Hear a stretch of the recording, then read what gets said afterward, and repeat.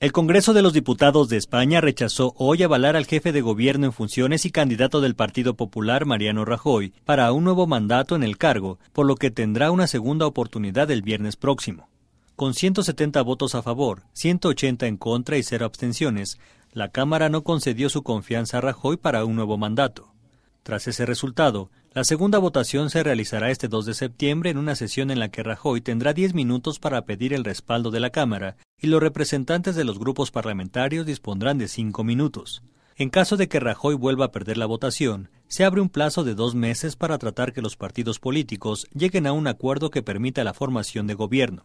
Si en ese tiempo no se aprueba una investidura, se volverán a convocar a unas nuevas elecciones que serían el 25 de diciembre. Notimex.